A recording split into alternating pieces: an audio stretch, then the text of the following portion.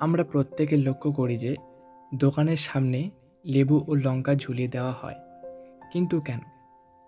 আমরা সবাই মনে করি কু নজর থেকে এড়ানোর জন্য এই দরজার সামনে বা দোকানের সামনে লেবু ও লঙ্কা বেঁধে দেওয়া হয়। ভারতের বিভিন্ন প্রান্তে বিভিন্ন স্তরের মানুষজন কুনজর ও কালো জাদুকে বিশ্বাস করে আসছে প্রাচীনকাল থেকেই। সেই জন্য মানুষরা বিশ্বাস করে লেবু লঙ্কা ব্যবহার করা হয় নজরকে দূরে রাখার জন্য? চলুন এবার জেনে নেওয়া যাক, কোন কোন কাজ থেকে এড়ানোর জন্য লেবু ও লঙ্কা ব্যবহার করা হয়। প্রিয় দর্শক, যদি ভিডিওটি ভালো লেগে থাকে, তাহলে লাইক, কমেন্ট, শেয়ার এবং চ্যানেলটিকে সাবস্ক্রাইব করে দেবেন। ধন্যবাদ।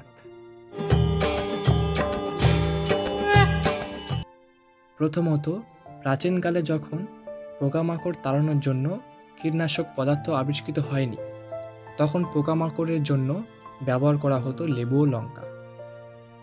পোকামাকড়ের হাত থেকে ঘরবাড়িকে রক্ষা করার জন্য ঘরের প্রধান দরজার লেবু লঙ্কা ঝুলিয়ে রাখা হতো।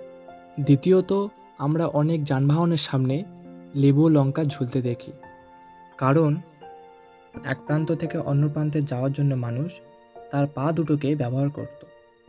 সেই সময় রাস্তাঘাটের পরিস্থিতি খুব খারাপ ছিল। বেশিরভাগ রাস্তায় ছিল জঙ্গলের মধ্যে দিয়ে। তাই জঙ্গলের মধ্যে দিয়ে হাঁটতে হাঁটতে মানুষকে অনেক সময় বিষাক্ত সাপের কামড়াতো। সাপে কামড়ালে যদি সেই সময় কাঁচা লঙ্কা খাওয়ানো হয়, তারপর কাঁচা লঙ্কা খেয়ে যদি ঝাল লাগে, তাহলে বুঝতে হবে সাপটি বিষধর ছিল না। কিন্তু যদি এর বিপরীত প্রতিক্রিয়া হয়, অর্থাৎ যদি ঝাল না লাগে, তাহলে জানতে হবে সাপটি বিষধর ছিল। এছাড়াও যানবাহনের ভিতর যেন কোনো রকম পোকামাকড় না আসতে পারে, সেই জন্য এই লেবু লঙ্কা যানবাহনের ভিতর ব্যবহার করা হতো। এবং তৃতীয়ত, পুরাণ অনুযায়ী সমৃদ্ধির দেবী হলো মা লক্ষ্মী। মা লক্ষ্মীর আরেক বোন অলক্ষ্মী। মা লক্ষ্মী সংসারে এসে ধন দৌলত সমৃদ্ধিতে বৃদ্ধি করে।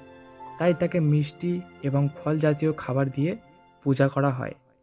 অপরদিকে সংসার থেকে অলক্ষ্মীকে দূরে রাখার জন্য টক ঝাল জাতীয় খাবার দেওয়া হয়। এই কারণেই অনেক দোকানের সামনে লেবু লঙ্কা ঝুলিয়ে রাখা হয়।